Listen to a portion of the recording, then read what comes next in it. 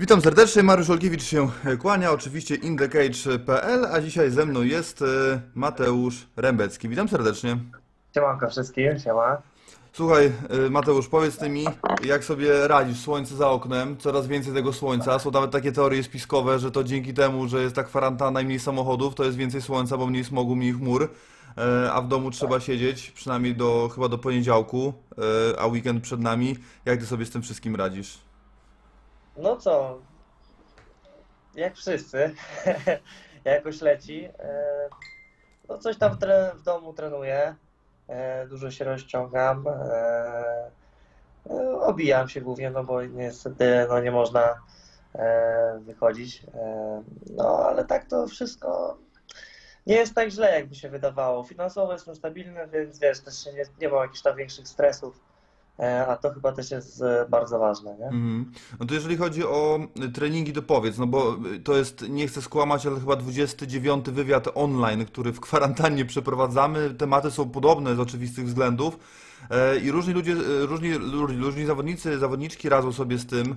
E, Niektórzy mają kogokolwiek, kto może im podtrzymać tarczę, niektórzy mają ogród, więc już w ogóle super, a niektórzy jak Szymon Kołecki mają e, swoje centrum fitness, więc już w ogóle są w mega sytuacji. E, Powiedz, jak to wygląda e, u Ciebie, jeżeli chodzi o treningi. No, głównie to siedzę w domu i takie wiesz, no, e, ćwiczenia z własnym ciałem.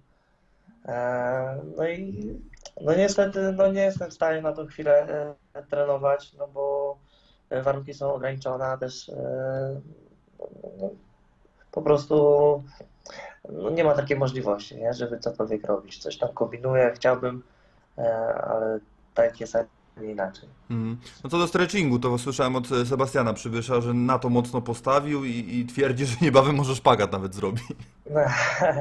No i właśnie u mnie jest też e, podobna kwestia. E, No, rozciąganie u mnie akurat z tym jest na bakier, więc trzeba to poprawić. Trzeba, wiesz, no te mięśnie rozciągnąć, uelastycznić wszystkie stawy, mięśnie ścięgna. E, Wiesz, przynajmniej e, w, przy, kolejnych przygotowaniach te kontuzje może nie będą występować, nie? Mhm. No właśnie, a propos kontuzji, to chyba całkiem, no jest jakiś pozytyw tej całej sytuacji, że wszyscy możecie się wyleczyć na maksa tak naprawdę przed e, startem gal. No, różnie bywa, no też wiesz, jest to trochę, mam dużo ograniczeń, tak? Odnowy biologicznej e, takiej za bardzo nie ma, nie można pójść na basen, e, jakieś zrobić hydromasaże, fizjoterapeuty też już e, tak średnio, więc e, tutaj też nie, jest tak e, kolorowo. E, Jedynie tyle, co korzystasz z własnej wiedzy i e, no, na tym trzeba się głównie opierać. To jest e, tak, że czasem sobie możesz nawet e, zaszkodzić w takich polowych warunkach. Mm, Też coś w tym jest, no to prawda. A propos tych e, kwestii finansowych, to chciałbym zacząć od sponsorów. E, Różnie to wygląda u różnych zawodników i zawodniczek. Niektórzy zawieszają współpracę, niektórzy wstrzymują, niektórzy e, po prostu jakby anulują tą współpracę, sponsorzy odchodzą. No na pewno żaden nie przychodzi. Powiedz, jak wygląda sytuacja u Ciebie. E, Są jakieś współprace, niemiłe rozmowy za Tobą za współpracę zawieszone, czy na razie wszyscy sponsorzy lojalnie przy Tobie zostali? Z tego, co ja zauważyłem, ja trochę inaczej współpracuję z tymi moimi sponsorami, e, bo ja zawsze bardziej to się umawiam na walkę, tak? Ja jestem osobą, która e, woli wszystko po walce mieć, e, zrobić robotę i dopiero dostać nagrodę i nie lubię, czy nie lubię.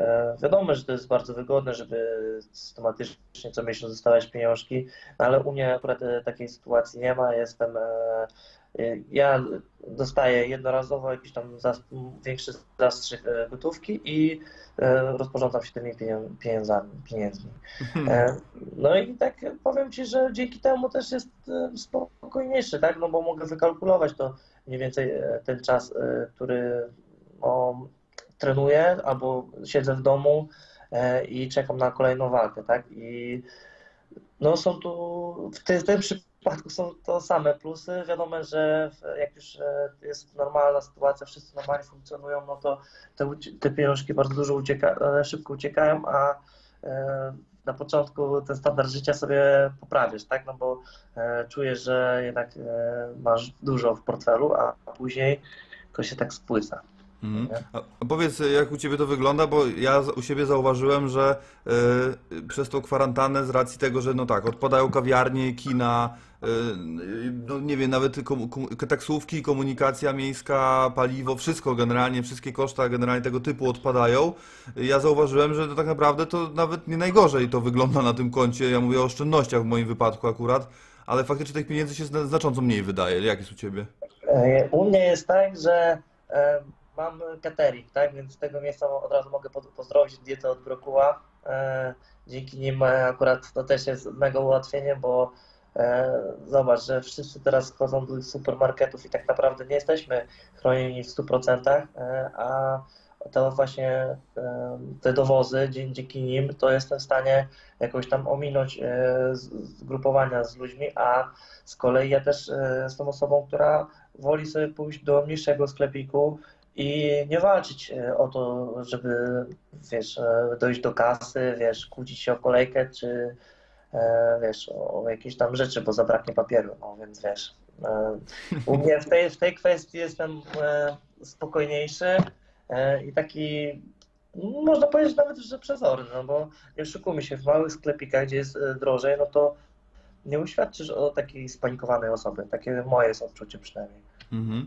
A w ogóle jak już jesteśmy przy, przy temacie e, tej całej sytuacji, która tej pandemii i tak dalej, i tak dalej, e, ty jesteś w grupie tych osób, które gdzieś e, mocno śledzą telewizje informacyjne, liczą e, przypadki zarażeń, zgony, mocno się tym przejmują, czy starasz się właśnie od tego stronić, nie panikujesz i po prostu czekasz, e, aż to wszystko minie?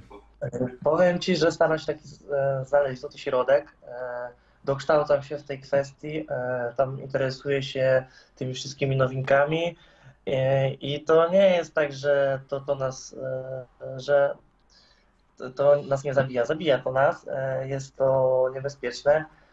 No, I trzeba po prostu normalnie funkcjonować, normalnie traktować innych ludzi i wiesz, i według mnie no, to jest taki chyba złoty środek, nie? że jest coś tam e, na rzeczy, trzeba na to uważać, trzeba e, jakoś tam wprowadzić profilaktykę, ale jednak e, no, to, jest, to trwa długo i podejrzewam, że jeszcze drugie tyle może to potrwać i no, zobacz, jaki to jest długi okres. No i w tym czasie trzeba jakoś ten czas spędzić spokojnie, bez stresu i bez takiej zawiści, tak?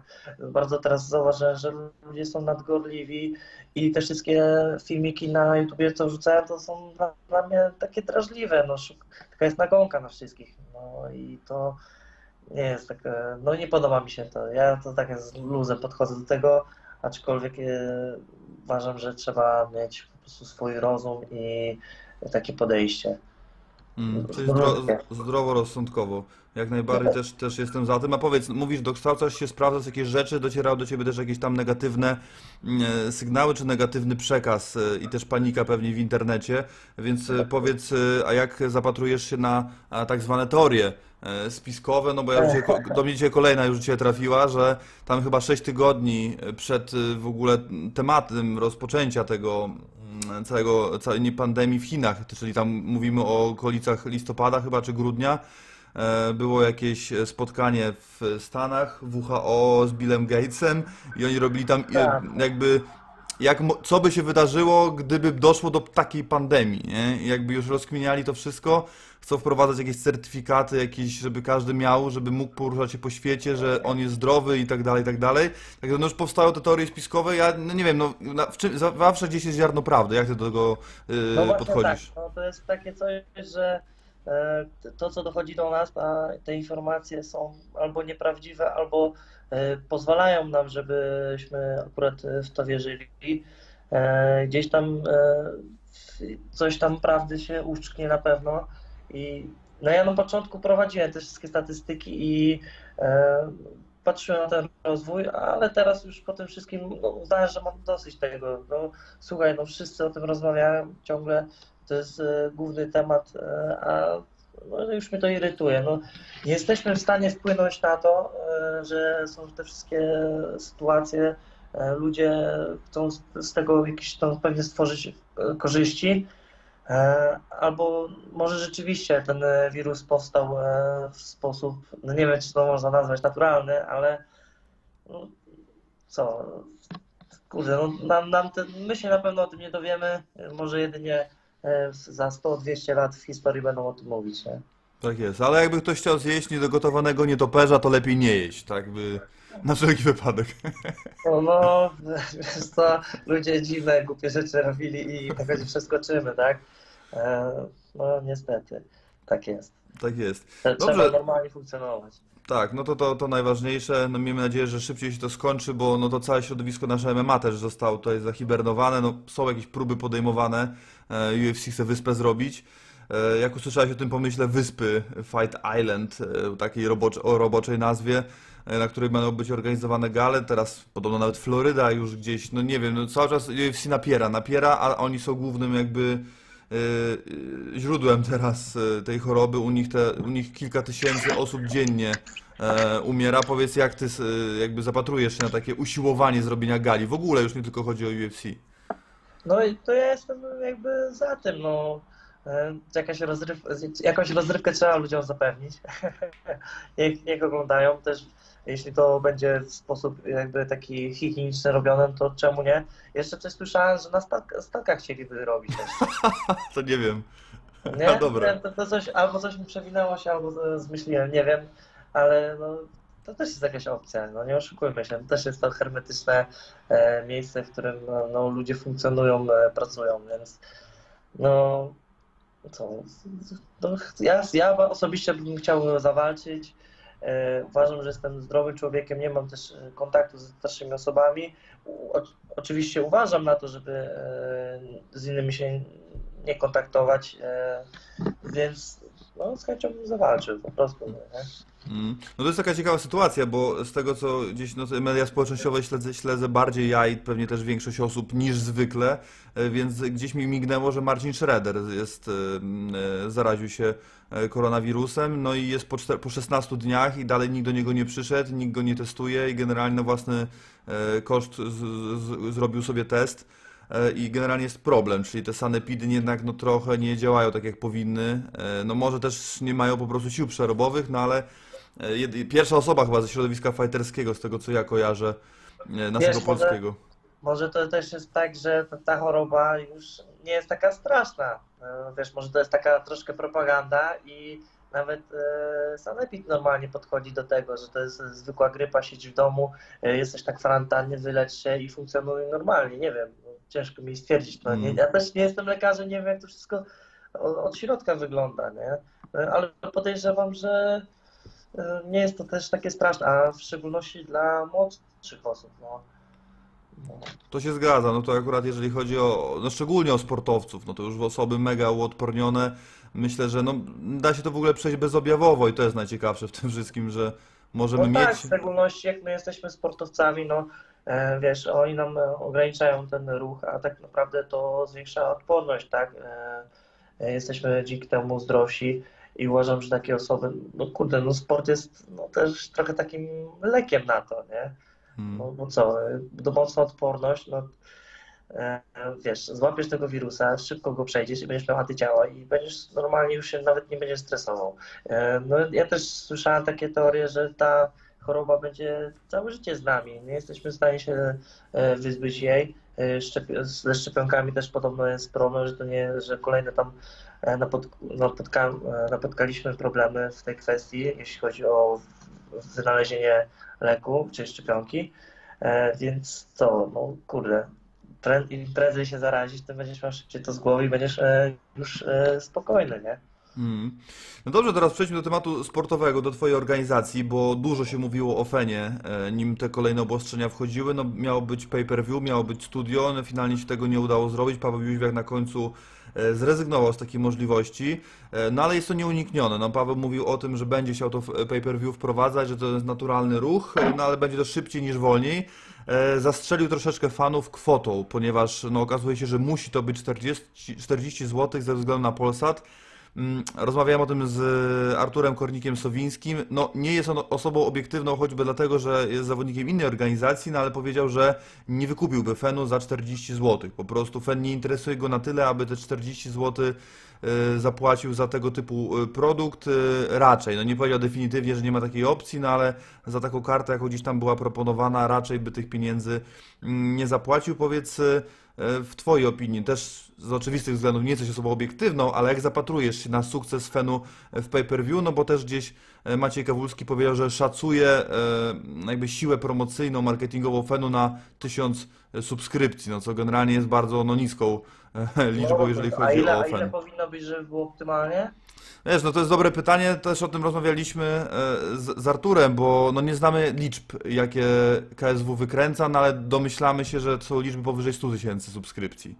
No E, rozumiem. Myślę, że I- także Ja z tego miejsca to Ci mogę powiedzieć tak, e, włodarze to też e, jak e, zaczęli robić e, galę w Szczecinie, e, nie spodziewali się, że wypełnimy całą halę E, i podejrzewam, że na tą chwilę, na, jak patrząc na jak mocno oni się, my się rozwinęliśmy e, jako uczestnik e, tej całej organizacji, czy członek, e, to sądzę, że może to nie byłoby tak spektakularne jak KSW, ale podejrzewam, żeby to była jakaś tam ilość zadowalająca.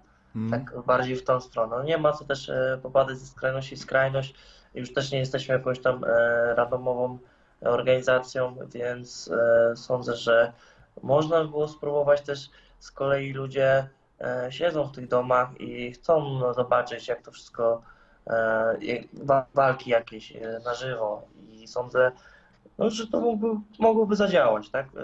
Obejrzeć Polaków, którzy biją się i to też w dobie pandemii, tak? Więc to też jest Mm. intrygujące. No nie oszukujmy się, ludzie chcą zobaczyć, jak to wygląda bez y, widzów, jak, y, czy będą zakładane maseczki, e, no, wiesz, będą czekali pewnie na jakieś potknięcia, czy coś się w, tym, w tej kwestii wydarzy. To będzie coś nowego i nawet y, dlatego ludzie będą chcieli to wykupić, no bo nie oszukujmy e, ludzie no, są ciekawi czegoś, co jeszcze wcześniej nie było.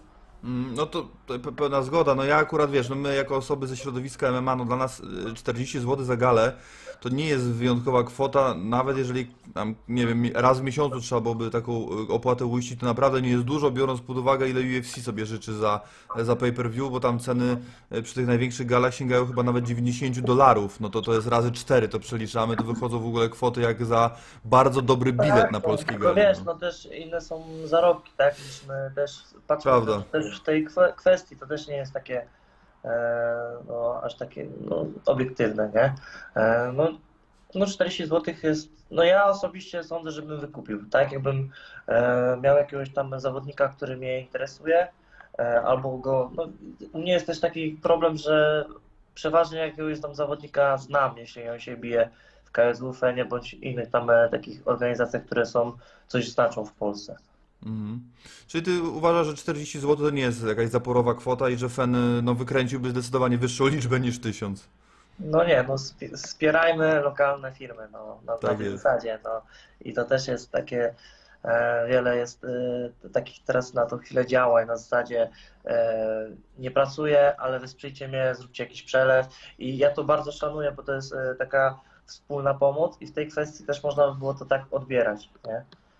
A No zgadzam. patrząc nie nawet na włodarzy i fansam, tylko na zawodników, tak? Bo my dzięki temu będziemy mieli możliwość rozwoju i e, wiesz, no, codziennego trenowania. No.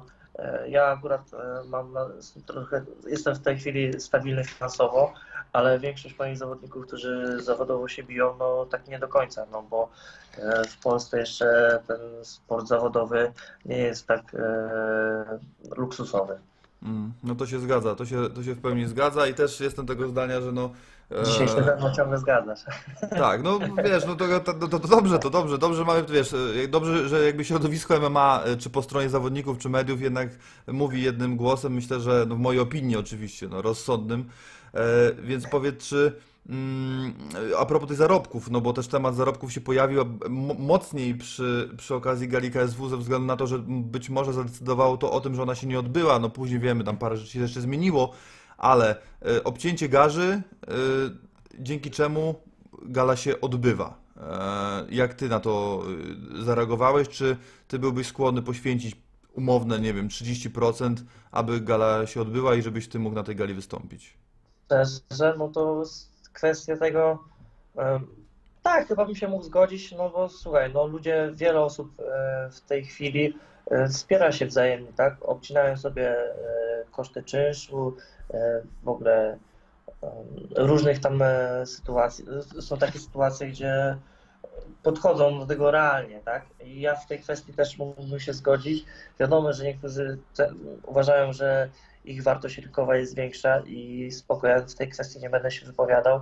E, Ja bardziej bym może zaczął negocjować, e, prosił ich na to, żeby oni mnie e, w jakiś sposób mocniej promowali na zasadzie, wiesz, skupienia się na mnie, wiesz, no takie, no obopólna korzyść, tak? Tej Mhm. kwestii, no. Inaczej, dla, dla nas, e, dla wszystkich będzie korzyścią to, że w ogóle jakakolwiek gala by ruszyła, nawet jeśli by było to dużo mniej pieniędzy, no bo to e, przynajmniej w moim przypadku jest tak, że ja zależy mi na tym, żeby e, toczyć jak najwięcej walk, no bo jednak sam wiesz, jaki jest mój cel i jedynie no, brak startów zawodowych mnie w tym blokuje. Mhm. No to jak jesteśmy przy tym celu, to niedawno portal, nie chcę skłamać, sam robiłem tego newsa u nas, e, MMA Junkie prawie na dzie- na 99% stworzył listę osób, zawodników w każdej kategorii wagowej, którzy trafią w nowym sezonie e, Dana White Contender Series. E, Był Andrzej Grzebyk, był Kirill Korniłow, e, również Fenu i też byłeś e, ty i też Czarek Kęsik, wymienieni gdzieś tam jako potencjalne osoby, które mogłyby wzmocnić ten, e, ten reality show czy ten program.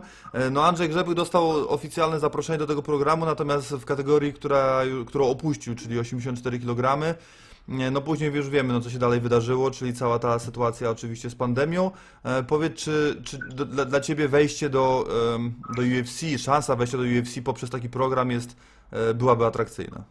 E, Ja chyba, czyli tak jeszcze wyprostując w ogóle ten e, news, to chodzi o to, że ja chyba byłem e, jako zawodnik rezerwowy, tak? Jak ja to czytałem, bo mnie ktoś tam e, oznaczył na e, jakimś tam e, portalu i e, co dalej? E, Sądzę, że ja, ja, chcia, ja wcześniej już z menadżerem e, Pawłem Kowalikiem rozmawiałem, e, że chcieliśmy się tam bić właśnie, tylko E, no rozeszło się po kościach, e, no też e, chyba w tam, jakaś jeszcze inna była propozycja z tego, co pamiętam i co, no kurde, bardzo bym tam chciał się pobić, no bo jednak e, to już jest jakby o krok od UFC, już tak e, e, realny krok, no bo wcześniej myślałem, że będzie, a jednak e, kurczę, ciągle zderzałem się ze ścianą.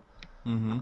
No tak zob- zobaczymy. No to, to ta lista też, e, o której ty mówisz, rezerwowa, była lista główna, no dalej to była lista osób, e, no dziennikarzy portalu MMA Junkie zagranicznego, no który gdzieś tam pewnie ma jakieś przełożenie, no ale jeden do jednego ciężko to traktować. Ważne, że e, wiesz, jesteście zauważani, przede wszystkim ty jesteś zauważany za, za granicą przez zagranicznych dziennikarzy. Ja, ja też mogę z tego miejsca powiedzieć, że no jeździmy na galę UFC. W zeszłym roku byliśmy chyba na sześciu, rozmawiamy z zagranicznymi dziennikarzami i to nie jest tak, że oni nie mają pojęcia, kim wy jesteście. Oni wiedzą dużo więcej niż nam się wydawało, a i też na pewno niż wam się wydaje. Są zawodni, są dziennikarze topowych portali, największych portali na świecie i oni mają listy zawodników i, i tam pojawiały się takie nazwiska jak twoje, jak Daniela Skibiskiego, jak e, Damiana Enikowskiego nawet, czy, e, czy Andrzeja Grzebyka, także oni są świetnie zorientowani, dużo lepiej niż nam się wszystkim wydaje, także, e, także jesteście wszyscy na tych celownikach, mówię no oczywiście o tych najlepszych e, zawodnikach w Polsce. No Program tak. tylko, no mów, mów. Przerwę, ale też no, zwróćmy uwagę, że jest wiele państw, w których też są zawodnicy, którzy oni również chcą się dostać do tej organizacji i no kurczę, trzeba teraz, e, no wyścig szczurów jest e, w tej chwili, trzeba dawać te kolejne walki, żeby były spektakularne i sądzę, że dopiero wtedy coś się ruszy. No, UFC też e, zauważyłem, że trochę zmniejsza ilość tych zawodników, chyba chce bardziej pójść w marketing, bardziej chce to wszystko tak e, stworzyć, żeby to było hermetyczne. E, Nie wiem, takie przy, przynajmniej ja mam odczucie na, na tą chwilę, no bo ja- jak na razie to tylko słyszałem o zwolnieniach, a nie o zatrudnieniach, więc e, no kurde, no nie, nie ułatwiają mi roboty, żeby tam się właśnie dostać. Mm. No coś jest w tym, wiesz, ja akurat jestem osobą, która e, trochę tęskni za tą elitarnością, no bo teraz jak widzę karty walk e, UFC, to nie znam wszystkich zawodników na karcie. Kiedyś, e, ja mówię o dawnych czasach, gdzieś tam 5-6 lat temu, no to znaliśmy chyba- od, Tak, i oni chyba chcą właśnie wrócić do tych czasów, takie mam ja przynajmniej odczucie, no bo nie wiem, no ale to ty mi powiedz, jak, jak ty to zapatrujesz, no bo też e, chyba w ostatnim czasie no nie widziałeś, żeby tych zawodników przybywało, wręcz odwrotnie, co? No to się zgadza. No wiesz, jeżeli ktoś wchodzi do UFC, to jest to nazwisko głośne. No teraz się mówi o, o Aleksie Pereira, który pokonał e, Adesanie dwukrotnie w kickboxingu. No więc gdzieś tam wyszedł, no wiadomo, że takie starcie jest mega marketingowe, więc takie, takie zatrudnienia zawsze będą poza kolejką. Ale to, o czym mówisz, tak, to się zgadza. No, częściej, częściej, no przede wszystkim dostajemy informacje o tych zwolnionych. Z jednej strony, z drugiej, wiesz, a UFC już jest e, pod chińskim konsorcjum, a nie pod braćmi Fertita, także tam się liczy pieniądz przede wszystkim. Tak, Czte- tak. 40 gal rocznie, wiesz, to też trzeba kimś zapełnić, nie? Także to też nie jest tak, ale faktycznie mm, rotacja po prostu będzie e, dynamiczniejsza i być może nie trzeba będzie przegrać trzech walk, żeby wylecieć, a, a przegrać tylko jedną albo dwie w słabym stylu i być może będzie ciężej się utrzymać, a rotacja będzie wyższa. No zobaczymy. No, Możliwe, ja jestem, tak. Zobacz, no ty- ja- no dobra, mów, no. ja jestem za tym, żeby tych gal było jednak mniej niż 40, no, bo masz, mamy 52 tygodnie w roku w końcu przecież. No tak, no w sumie masz rację e, i kurde, co chciałem powiedzieć, że zobacz jak e, 3 lata temu, to 3-4 lata temu, jak zatrudniali Polaków, nie, e, było dużo więcej. W pewnym momencie, no to co chwilę słyszałem, że jacyś tacy, no zawodnicy, którzy nie mieli takich e, rekordów jak my, zawodnicy, którzy teraz chcemy się dostać, tak, czyli ja, Daniel Skibiński e, czy Andrzej Grzebyk? Tak, i- tak jak ja e, to wszystko wcześniej śledziłem i teraz, tak, bo to dla mnie zawsze był UFC był priorytetem i no i to takie były bardziej nieznane te nazwiska, które się dostawały, tak. Chyba dobrze mówię? Jak No sądzisz? tak, tak, no tych nazwisk wiesz, to, to też zależy kto jakie rynki śledzi. No kiedyś było wszystko łatwo śledzić, bo było tego mało, teraz tego, tego jest tak dużo, że e, no nie ma doby na to i czasu takiego zwykłego, że dla zwykłego, nawet jakby dla osoby, która wiesz, wygrałbym w lotka i, siedzi, i siedziałbym tylko w, na dupie i się zajmował tylko MMA, to i tak nie jestem w stanie obejrzeć wszystkich Bellatorów, PFL-ów, One, KSW, Fenów, e, Slackfestów, Armii Babilonów i tak dalej, i tak dalej, i tak dalej, i Rising, bo tego jest po prostu za dużo, natomiast to prawda, że e, no są nazwiska, no nie wiem, no dla mnie też nazwisko z kontendera, czyli nie wiem, Greg Hardy jest nieporozumieniem, nie? Jakby na poziomie organizacji UFC, no fajnie, że wytrzymał 15 minut z Wołkowem, no a dalej mnie ten gościu nie przekonuje, jego rywale e, też, także no to nie zawsze każdy transfer jest dobry, no ale też wiemy, że marketing jest bardzo ważny. No i na tym też UFC się opiera i myślę, że w, pod aktualną władzą głównie może nawet na tym bazować, czego przykładem też jest Artem Lobow, który z rekordem równym czy ujemnym walczył dla tej organizacji, a on mówi, że największą wartością Artema Lobowa jest to, że Conor McGregor przejdzie z nim na galę. Co też gdzieś jesteśmy No, to teraz jest, tego... to niestety to jest trochę smutne, no ale no tak się, tym się rządzi marketing, no. Tak to, tak to wygląda. Tylko jeden. Dzisiaj mamy półfinały, więc z, no, pary półfinałowe znane, natomiast chciałbym się Ciebie zapytać, nim przejdziemy do tego, czy Ty znasz wyniki tych półfinałów, czy możemy rozmawiać, czy nie możemy, bo ja nie chcę zdradzać. Wywiad faktycznie pójdzie po e, tej- tym odcinku, więc, e, e, ale chciałbym jednak zapytać, czy coś wiesz więcej, czy nie wiesz, no bo jednak Tomek Romanowski bierze w jednym z półfinałów udział. Nie wiem, co mogę powiedzieć w sumie. Nie, no wiesz, no przede wszystkim, e, czy wiesz, możesz tylko odpowiedzieć na pytanie, czy wiesz coś więcej, czy nie wiesz nic więcej. Coś tam, coś tam mi się, też do, coś tam dowiedziałem się, nie? Coś tam się dowiedziałem. No dobra, to w takim razie? Okej. E, Wiesz, ja, ja, powiem, powiem ci teraz zdradzę, y, to, to pójdzie, y, to fani nas może za to, za to znienawidzą, bo ten wywiad faktycznie pójdzie po tych półfinałach, y, bo nie wiem do, do, do końca kiedy będzie Ciebie, ale publikacja. zobacz, ciebie nienawidzą, nie mnie, ja nic nie powiedziałem, żeby nie Nie, nie, nie, ale- ale nie, bo jeszcze, jeszcze nie dokończyłem, e, ponieważ nie wiem czy wiesz, ale dwa zagraniczne, dwóch zagranicznych bookmacherów wystawiło kurs na półfinały, które się już odbyły przecież. A można tak? No, to ich pytaj, bo oni chyba nie wiedzą, że to nie jest na żywo. Taka sytuacja. O kurde, teraz to mnie trochę zaskoczyłeś w tej kwestii. Tak, oczywiście tutaj wszy, wszyscy szukamy, czy polscy bookmacher, bo wiesz, zagraniczny bookmacher jest nielegalny, nie możemy my na niego obstawiać pieniędzy z Polski, więc trzeba byłoby prosić y, znajomych, którzy są za granicą, więc jakby tutaj y, to jest, y, nie ktoś może, no teraz nie wiem, kto to będzie kiedy sprawdzał, ale 22 albo 22 bet i Parimatch. Parimatch jest chyba sponsorem Conora w ogóle z tego co się orientuję. I oni wystawili takie, jeden to widziałem nawet, i oni wystawili kursy na te półfinały. Także no, mogą stracić kupę kasy, jak więcej fanów e, z Polski się zorientuje, e, że taka sytuacja, no bo ktoś, kto jest w stanie się dowiedzieć, a to nie jest jakoś mega, mega trudne, no to może zarobić kupę kasy, także... Także tyle. To, to, to zostawiamy, także mówię, że znienawidzą, no bo wiesz, pewnie by chcieli, żebym im to powiedział przed półfinałem. W razie obstawiaj, chyba też znasz jakieś wyniki. Wiesz, że y, celowo nie znam, no ale w takiej sytuacji wiesz, mogę poznać. Pamiętasz, żeby ten program dla Ciebie był atrakcyjniejszy? Dokładnie tak, dokładnie tak. co? Dokładnie Aha, tak. Bo znałem, znałem wyniki pierwszych czterech walk i bardzo. i z mniejszą, z- mniejszych emocjach po prostu je oglądałem i to trochę odebrało mi frajdy, więc a teraz y, będę drugi. Nie widziałem, kto wygra w walce sobie wrestling, więc też się cieszyłem i teraz też nie wiem, a wiem, że walki będą mega, dlatego się jaram i, i dlatego nie chcę wiedzieć, no ale jeżeli mam zgarnąć kupę kasy, no to trudno, jakoś to przeżyję i się dowiem. Dobrze, dobrze. Jak już wiesz, w wiadomościach będą mówili o jakiejś osobie, która zbiła kokosy na tym, to będę wiedział, kto, kto się obłowił, wiesz? Dokładnie. Słuchaj, ale teraz tak, sam program, tylko jeden. Jak Ci się w ogóle podoba projekt? No bo jest, wiesz, jest trochę tańca, trochę gotowania, trochę treningu, e, jest sporo kulis zbijania wagi. Jak ty, jak Tobie się podobają e, te odcinki, które do tej pory widziałeś? Ja chyba oglądałem, z tego co pamiętam, jeden bądź dwa odcinki i e, spodobała mi się jed- jedna kwestia, e, dokształcanie ludzi w tej, e, jak my e, na co dzień funkcjonujemy. No wiadomo, że tam jeszcze trochę to było takie w inny sposób przedstawiane, bo oni tam jednak mieszkali tam w tamtym miejscu.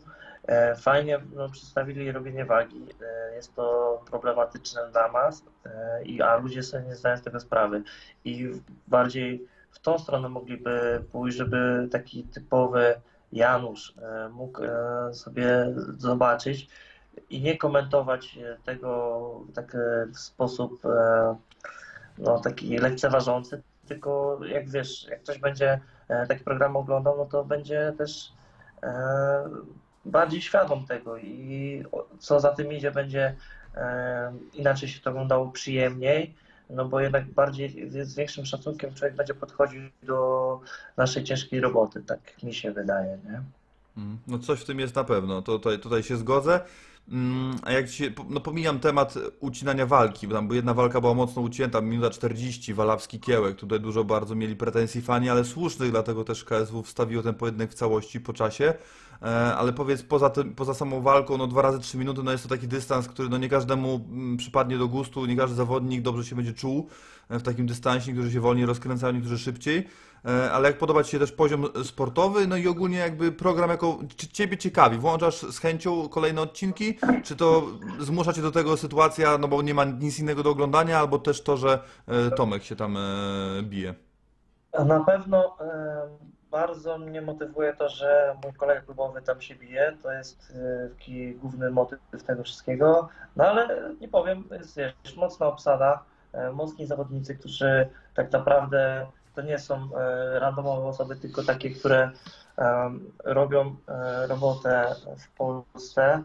Może one, te nazwiska nie są aż tak znane, ale uważam, że są, jeśli chodzi o poziom sportowy, bardzo wysoko. Wybrali chyba Jeśli to wybrali najmocniejszych zawodników niezakontraktowanych, bądź e, którzy już zrywali kontrakty z innymi organizacjami. Więc e, no, co za tym idzie, e, no, są to mocne, e, no, mocna paka. Mhm. A powiedz, co Ty byś zmienił? Bo no, pojawia się mnóstwo propozycji fanów e, na ten temat. E, Co Ty byś zmienił, zmodyfikował i co, co w Twojej opinii mogłoby spowodować, że będzie bardziej atrakcyjniejszy e, ten program? No bo wiemy, że sztucznie złej krwi nie jesteśmy w stanie wykreować. I ja po czasie doszedłem nawet do wniosku, że może dobrze, że, fa że fajterzy zostali pokazani w ten sposób, że wcale nie są krzykaczami, tylko odnoszą się do siebie z szacunkiem na każdym polu. E, Powiem Ci, ja tak osobiście uważam, że tak jak często z trenerem rozmawiam i dużo często krytyki e, z- do- dostają, jest dużo krytyki e, w, w, często w jakiś tam, jak ktoś czymś kieruje, ktoś e, jest osobą decyzyjną i popełnia jakieś, coś robi i wielu osobom to się nie podoba. I ja uważam, że podejrzewam, że ja bym tego lepiej nie zrobił. Wiele, wiele innych osób też by tego nie zrobiło lepiej. Te osoby, które są e, tam i zajmują się tym, e, wiedzą doskonale, e, jak powinno być, żeby to się sprzedało. E, wiadomo, że można by było to poprawić, ale to chyba kwestia czasu. To jest pierwszy taki program, w którym coś takiego się dzieje w Polsce i jest naprawdę fajnie i cała ta krytyka, czy jeśli jest, bo też ja nie śledzę tam, e, nie, wiem jakie są w ogóle opinie i komentarze, jeśli chodzi o, o ten program. E, Ja sam osobiście uważam, że lepiej bym tego nie zrobił i uważam, że też osoby, które e, krytykują to nie powinny się wypowiadać, bo nie wiedzą jak to w środku wygląda, jak oni to mogą ugryźć. Mają tam jakieś możliwości pewnie ograniczone i na tym bazują. Mm. No to rozmawialiśmy z wieloma osobami na ten temat i, jednak doszliśmy do jakiegoś takiego wspólnego wniosku, że wyniki oglądalności po pierwsze się bronią, bo to jest pół miliona na odcinek i co się okazało, spadały te słupki, ale przy ostatnim odcinku e, podskoczyły. To jest jedna ważna rzecz. No druga rzecz jest taka, że ko- 30, wiek 34+, plus, średnie wyższe wykształcenie i kobiety. To jest główna grupa docelowa tego programu. Kobiety. No, no. Tak jest. Większość kobiet niż mężczyzn to ogląda, więc wychodziłoby na to, że to nie do końca jest dla, dla środowiska produkt, dla, dla nas, w sensie, wiesz, dla osób z... No, Od, tak, no, rozumiem. więc, więc być może to jest ważne w tym wszystkim. E, najczęściej, wiesz, no są tematy poruszone, tematy poruszone takie, że może nie tyle krytyka, ale zmiany, czyli więcej odcinków, bo jest za mało, e, dłuższe odcinki, dłuższe walki, czyli dystans chociażby walki, albo chociażby trzy rundy, e, niech będą trzyminutowe, ale chociaż trzy. E, mniej schematu, czyli że wiadomo mniej więcej jak odcinek wygląda. Tam Blanka, challenge, zbijanie wagi, walka i tak mniej więcej to bardzo jest liniowe, plus wizytówki zawodników. Mm, Więc tutaj takie główne rzeczy, no i gdzieś tam jeszcze jakieś takie poboczne, że jednak może podział na drużyny byłby fajny, y, że trenerzy, którzy się jednak nie lubią, a nie koledzy, a nie trener i, i zawodnik z jednego klubu. No jest jakieś tam parę takich uwag, które gdzieś mogły było atrakcyjnić to widowisko. Że, że to z czasem wszystko poprawią. E, mieli taką wizję na początku. No, no i może troszeczkę się nie sprawdziło. No, rzeczywiście tam z tymi trenerami był e, taki problem też, kto idzie do narożnika i chyba była taka sytuacja, e, że czekaj, to było tak, że oni rzucali monetą, a Tak, tak, jeden, tak. a chyba jeden, jeden trener był e, kumplem e, zawodnika, a mógł, była jakaś szansa, że pójdzie do przeciwnika, nie? No to, no to, to, to, to jest złe, uważam, bo to jednak e, spadają morale dla zawodnika. Nie? A, No taka sytuacja była to tak, Walawski. Kiełek, no. No o właśnie, chyba to, ten, ten odcinek akurat oglądałem, no ciekawy byłem, Tak. jak e, mój e, e, op- oprawca sobie poradzi. No bo tak, Zabor był y, w narożniku Piotrka Walewskiego, czyli swojego zawodnika, na Marcin Wrzosek był u y, Pawła Kiełka, natomiast no tutaj mogę zdradzić, bo byłem na, akurat na czwartym odcinku, media zostały zaproszone na nagranie, y, no był Paweł Derlacz, normalnie siedział i jakby to Marcin Wrzosek tam bardziej figurował, a to Paweł Derlacz zajmował się, czyli były takie szanse, nazwijmy to, mm, wyrównane. E, Więc no tak, no to jest to jeden z tematów, gdzie, gdzie trenerzy mogliby się przede wszystkim, e, no nie, nie może nie lubić, no ale jakby chociaż zestawić dwóch zawodników e, z jednej kategorii wagowej. Nie wiem, Micha, Michał Materla, Mamet Halidow chociażby, wiadomo, że no walczyli, gdzieś tam też się głośniej mówi o rewanżu. Albo po prostu zawodników nawet, którzy się nienawidzą, tak jak mamy teraz Wrzosek, Mańkowski, tam awantura trwa w mediach.